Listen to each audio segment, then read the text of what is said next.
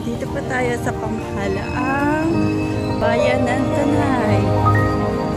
Ayan. Sumama talaga ako dito para makapag-vlog.